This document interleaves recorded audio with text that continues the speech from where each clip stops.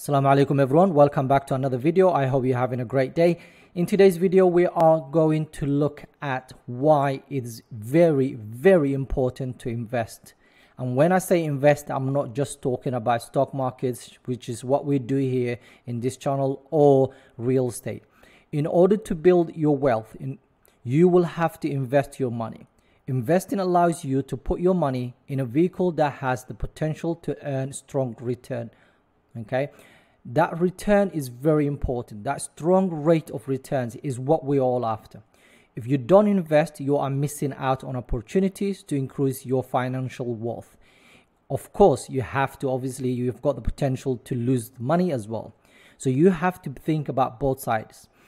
But one of the things i've realized lately is there's so many people right now that are basically sitting on the side and not investing and the reasons are because they're worried about what might happen to the stock market, what is might happen to the real estate, what might what's happening to car, you know, cryptocurrencies and things like that.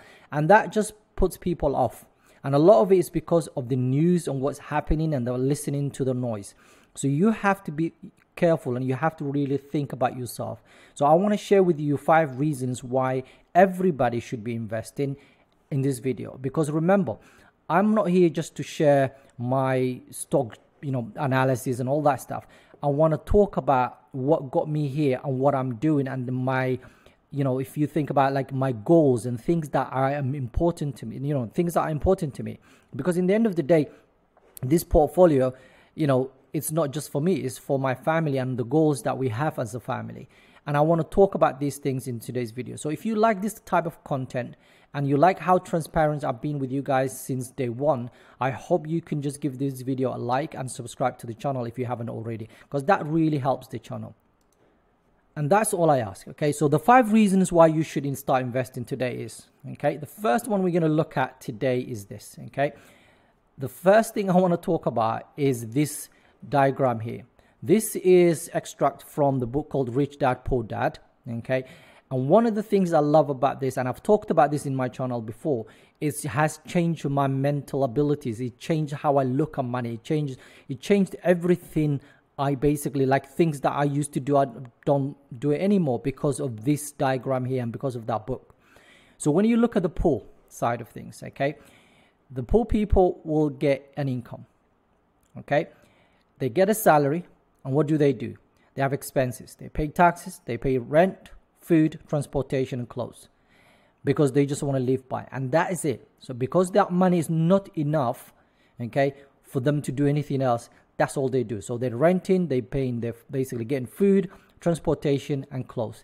That's all they can do. They have no assets and no liabilities, which in a way is a good thing. No liabilities means a good thing, right? Then you've got the middle class okay? And this is where majority of the people that fall into because if you're working and you're getting a good salary you went to university whatever majority of the people will be around here. Okay? So you got an income. Your income is salary. So you receive a salary at the end of each month. What do you use it for? You use it for taxes mortgage payment. Okay? Because you have a decent salary you get a mortgage you get car payment you got credit card and you've got school loan payment and other things that you might actually need to pay off. Right so you have no assets, you only have one income, and you have a mortgage. You got a liability is that like mortgage, car loans, credit card, debit cards, and school loans, and so on. All of these things take money out of your pocket.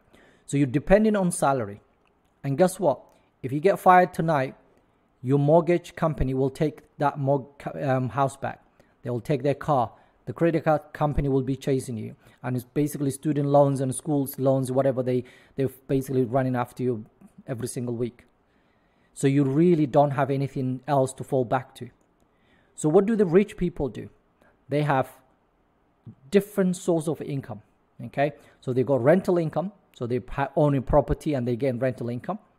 They have dividends that they receive from their stocks. They have interest and they have royalties all of these things are assets. So the real estate, the stocks, the bonds, notes, intellectual property, they have all of these assets that give them income. Their expenses are taxes and mortgage payment. They might have a car loan or whatever, but consumer loans and credit cards and mortgage, but they have so much income, assets that generate income, they are able to afford these things. They even they like to ta- take more debt because they have real assets and they actually use those assets to pay off those debts and so on. So the difference between us and the rich people is the fact that they have a multiple income. And that is what we need. That's where we need to be because otherwise, what is the point? That's what we should be working because remember, if you lose if you are in the middle class and you only have a salary and you lose your job, then that's it. What are you going to do? All of that basically has to be paid, right? So what are you going to do? The company the mortgage company will take the mortgage back and so on. But when it comes to the rich, if the dividends stop coming in, they still have a rental income. They still have royalties. They still have the, the bonds and um, intellectual properties and all of those things coming in. So you have to really be careful and you have to strive to actually get to not just be rich, but have at least multiple incomes. And the reason we need to do that, reason number one, is to generate wealth. Okay, wealth creation is very important. Why? Because you can, if you've got children, you can leave a legacy behind. Okay, financial legacy for your children. Okay, by building a generational wealth, by actually by buying properties, by actually creating portfolios that generate income. These things you can leave for your children. Okay, and guess what happens? They're not gonna basically struggle as much as you have struggled, and that to us, to me anyway, is very important. That gives them a head start. Okay, that's to give them hopefully my grandchildren will actually benefit from that wealth creation so it's really important to start with that the next thing okay is the compounding effect this is important. When you start investing okay the compounding effect is one of the major things that we need to focus on. What i mean by that is i'll show you. Let me just show you this calculator. Right here's the calculator. So investment calculator here. So let's say, for example, you start a new investment today and you only have $100, right? And every single month, you can only add $500 every single month from your salary, right? The total, the rate of return, uh, of return for example, the S&P 500, basically on average return about 7%. So let's go with that. Just let's uh, go with 7%. Normal stocks slightly sometimes could be better, sometimes could be worse. People like Warren Buffett, basically had a return of like I don't know 21% I think it was every single year to 1 to 1% every single year so let's say this is we're only going to do this for 10 years so your starting position is let's start with um, not 10,000 1,000 right so that's our starting starting position. We only have 1,000 um, pounds or dollars in the bank. We've added 500 every single month okay? Not annually. We're going to do this monthly okay? And we want 7% return and for 10 years. You've got $88,552 after 10 years. Right let's break it down so the first year when you started this is what you started with and then you made $6,000 in contribution because you paid 500 every single month right your interest earned or the 7% you earned basically is 269 so that's what you got from the S&P 500 or from your investment, the stocks or whatever it is, right? And then by the end of that year, so you've got $7,269.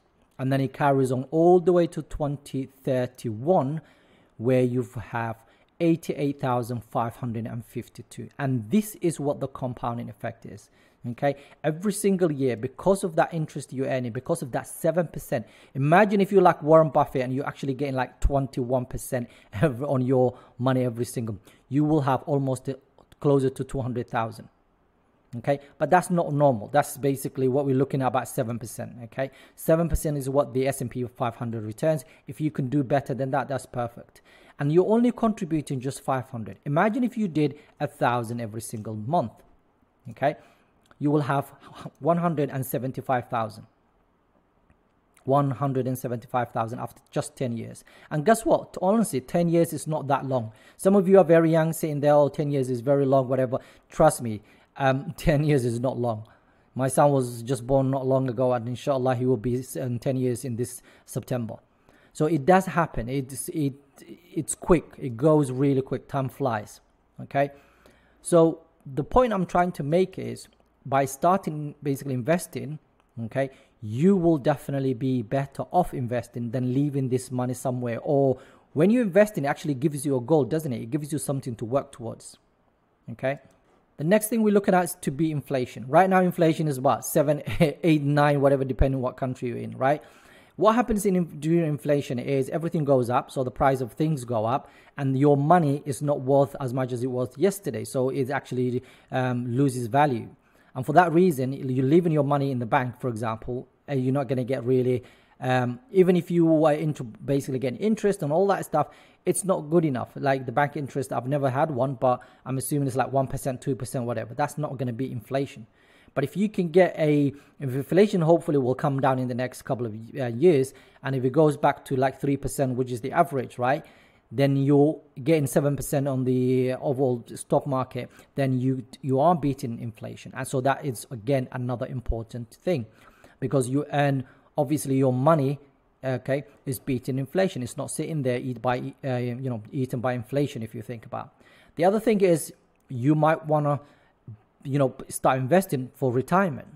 Because remember if you don't if you save in just the money just because um, and just put in the in your bank account for example by the time you retire that money will be absolutely worthless. But if you put in into that so based on what we've seen in that calculator just imagine if you want to retire in 10 years and you're going to put a thousand pounds okay and you've got 190 175,000 whatever it was right? 175,000 is a decent amount of money okay? It's better than having absolutely nothing or having something very small that is not going to even beat inflation. So it really genuinely is important. Some people might actually want to start investing really early so they can retire or they can do what's called um, fire financial independent and uh, retire early okay? Again those are goals that you need to work towards. You're thinking about what might what's going to happen in about 5 10 15 years down the line. Only allah knows whether we're going to be alive or not but it's important for us to plan. And because when you have a children you also have due to responsibility right? So you have to think about that those things okay? And the final thing i want to talk about today is you might want to basically reach your financial goals so you might want to start investing when you're 17, 18. And a lot of you, to be honest with you, the, one of the reasons I'm doing this now, because there's so many young people that have actually joined the channel. I checked the other day, the age groups, they're actually getting younger and younger. So welcome, please. Okay, ask questions. Let us know if you have any worries or whatever. Because the fact that you're here and learning is so important. I wish I knew, okay, this stuff when I was at your age, because I would have started really straight away.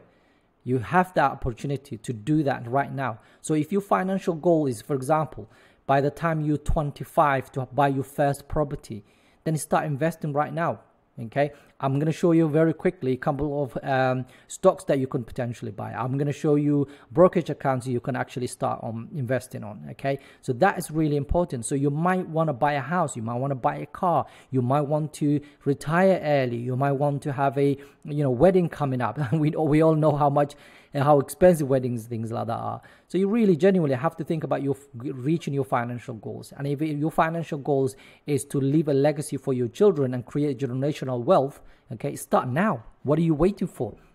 Especially right now we're in a situation where the stock market is actually quite down a lot for 20 30 30 percent right now but obviously, housing is another ball game because this is really there's a bubble going on up there, and I'm sure sooner or later it will come back to earth, and that will be great for all of us. But right now, if you don't have the capital basically to buy a property, then put that money maybe into a um, stock into the stock market and buy a couple of great companies that you know and understand their their businesses and so on. So like I've always said to you, the basically the account that I use, the brokerage that I use right now, it's two of them really. Um, well, I use three of them right now. Um, Trading 212, which is this. By the way, Trading 212 might not be available in the UK right now. They're not taking new customers in the UK, but they are taking new customers around the Europe. So if you live in the other European countries like Germany, um, I think Norway, Sweden, those kind of countries, you definitely will be able to have access to trading 212 i think. Just double check. Go to their website and just click the country in and just click open account. It will open it straight away. If it's uk basically they will tell you they don't have it okay? And i think i don't know every country is different but in the uk this um, brokerage is actually you can put up to i think you protected up to 80000 or is it 85000 by the financial authority basically um, uh, conduct company. So they will protect your assets in that in terms of that. Um, but yeah, obviously it's a great, it's easy to use, it's free. Um, you don't have to pay basically fees and things like that. Um, the other one I use is Freetrade. Free trade, if you're looking for, if you live in the UK and you want to open an ISA account, you just pay three pounds. And the final one is Interactive Brokers. Interactive Brokers um, is where I have my children's account, and do it basically my wife's got an ISA there, and that ISA account is actually, um, I think we, if you do a couple of trades every single month, it's free.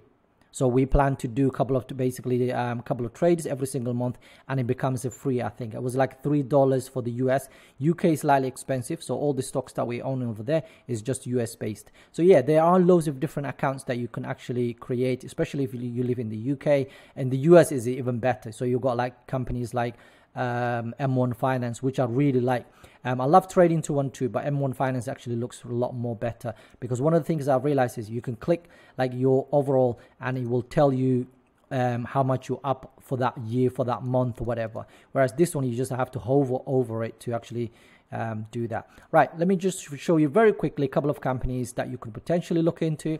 J&J is one of those very famous companies out there, been there for a long time over 400 billion dollar company they pay nice dividend okay they seem to be fairly valued or just a premium at the moment the other companies that you potentially know about is microsoft okay and that's msft Microsoft is one of those companies everyone knows about. Okay, we've we've got products. Obviously, we use their products all the time.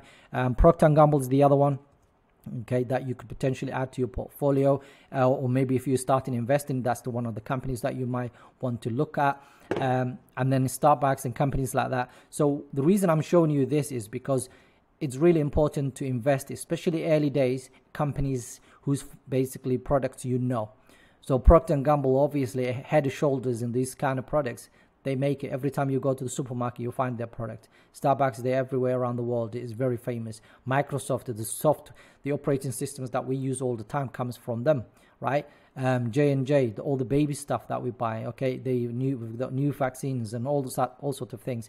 Um, again, another company that is well known is Home Depot, in the especially in the U.S. Okay, and home improvement side of things. These companies are great companies that have so much cash and so on. So they're not going to run out of business in the next couple of months. Okay, they have been around for a long time. They will be around for a long time. So this is the kind of thing that you should be doing right now. And I genuinely, if you are scared about investing, just open a brokerage account. I'm not a financial advisor, but I'm just personally this is what I what I've done and what I would do if I were you. Open a brokerage account. Put maybe hundred pounds if you got, even twenty pounds. It doesn't matter, whatever it is, however it's small, right? And then start dollar cost and averaging into companies that you genuinely like right? Do your research. Don't follow the hype. Think about what you're doing. Think about the sharia compliance side of things as well right? Do all of these things and inshallah allah will make it easy for you. And in the long run if you are especially if you are say 17 18 all the way to 25 bro trust me brothers and sisters you've got a great opportunity to start investing now while you're that age. If I had started 10 years ago, right now I would have been in a better position. But Alhamdulillah, everything happens for a reason. Alhamdulillah, I'm financially happy right now where I am, but I'm still building on this. I like you've seen me every single month, right? Since I started investing, I've been showing you every single week whether it's up, down, and the reason I do that is because I want to share my journey and show you what is possible. I hope you enjoy this kind of content. I hope you like the video. Have a wonderful day. Eid Mubarak to all of you. Assalamu alaikum.